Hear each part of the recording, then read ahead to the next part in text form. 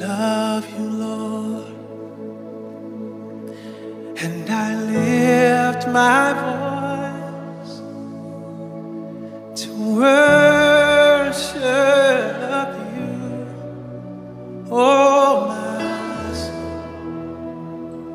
Rejoice, take joy, my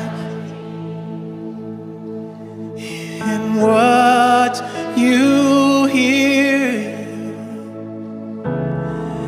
Let it be a sweet, sweet sound in your